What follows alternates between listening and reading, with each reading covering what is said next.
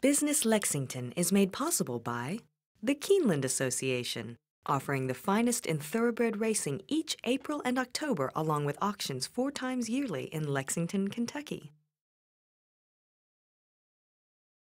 By the law firm of Bowles Rice.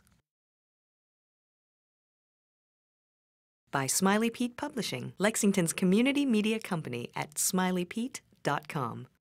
Now, your monthly 30 minute local business news resource, Business Lexington, with your editor in chief, Tom Martin. Business Lexington feature reporters Eric Carlson, Lisa Davidson, Chris Huskisson, and Doug High.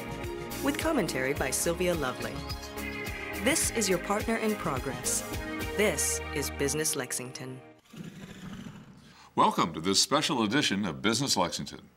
We wanted to highlight for you some of the stories we've been covering in 2008.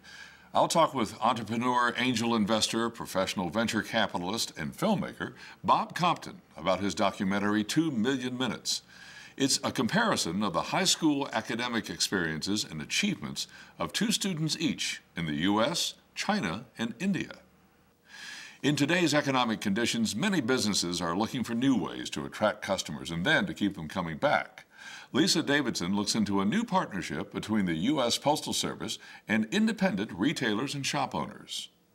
Lexington businesses are getting involved in the arts in a big way. Chris Huskisson looks at some high profile examples of business supported public art. Eric Carlson focuses on what's at stake in the development debate Fayette County's factory floor, our dwindling agricultural land and green space.